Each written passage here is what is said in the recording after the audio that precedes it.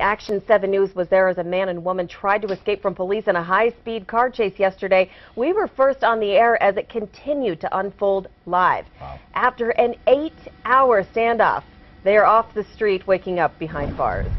Hmm. It all started after the couple allegedly carjacked a woman's SUV Tuesday night. Yeah, officers then spotted them yesterday morning. This set off that chase. Action 7 News reporter Sandra Ramirez is live this morning from the spot where they were arrested. She has more on this wild chase. Sandra.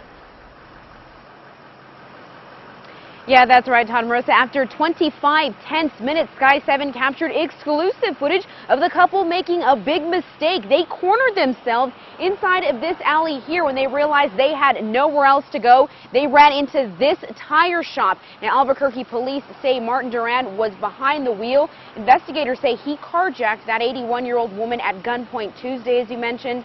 Now, you can see the SUV blow through a red light, nearly slamming into a gray car during that chase. Then at one point driving into oncoming traffic. The SUV jumps a curve to get around. Driver stopped at a light. And we spoke exclusively to Marlene Tucker. She says she was nearly hit while walking her dog.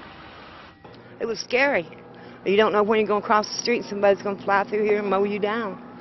You know, it's real scary, especially with kids in the area. Now, after taking a turn down an unpaved road, the SUV was boxed in. You can see Duran and Alicia Lopez make a run for it into the tire shop here on Central in Louisiana. Lopez then surrendered to police. SWAT officers later went in to take Duran into custody hours later. Now, luckily, no one was injured during this chase. Both Lopez and Duran are expected in court today to answer to all of those charges. Reporting live near Central in Louisiana, Sandra Ramirez, KOAT Action 7 News.